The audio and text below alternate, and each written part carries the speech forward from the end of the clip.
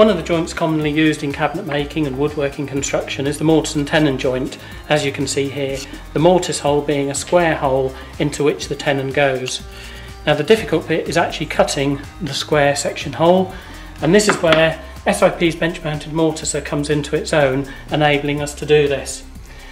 The working end is a hollow chisel, which comprises hollow chisel, which is square in section, which goes into the hole to actually cut the sides the waste being removed by an auger bit which goes up the middle. Now this machine will take from a 6mm, such as this bit, up to a 16mm bit, and they're easily inserted into the machine through the bottom, and first of all we slide that up until it's just shy of the actual collar, tighten that up with the Allen key, we can then slide the bit up into the actual machine, and inside there's a Jacob's chuck which accepts the arbor. We can tighten that up.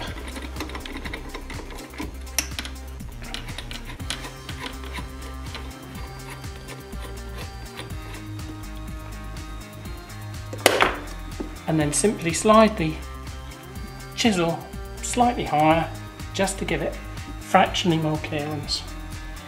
The other thing we need to do is make sure that this is square to the table and the easiest way of doing that is by bringing it down and bringing the table forward, which is easily adjusted using the adjuster, and making sure that the chisel is square to the back of the fence.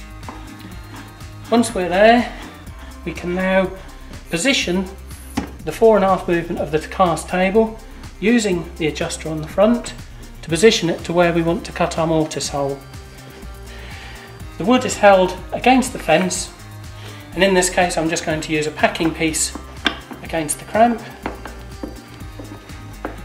With that held in place what we can now do is position the machine over our mortise which is there.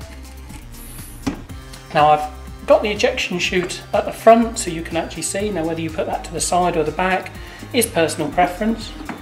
If we now bring this along have just marked two lines.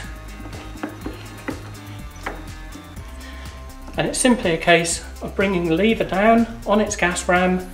We can set the depth of stop in advance and then we can bring this down and actually cut our mortise in a succession of passes by just moving the trunnion table back and forth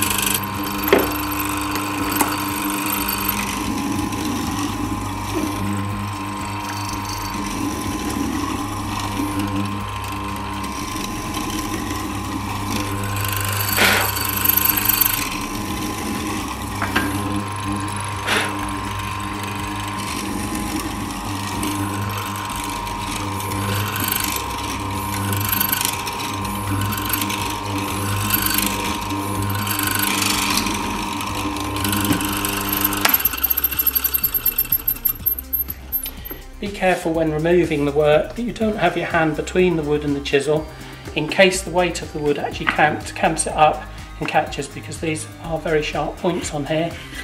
And when we remove that, we should then find that our piece of wood goes into our mortise hole.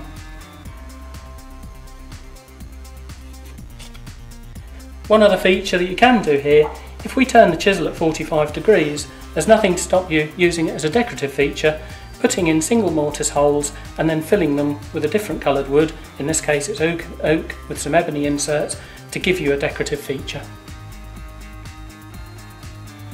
As an optional extra, you can buy the chisel sets from SIP. It does come with one chisel, but this machine will take from a 6mm bit here right through to a 16mm here, so it will actually handle some large capacities.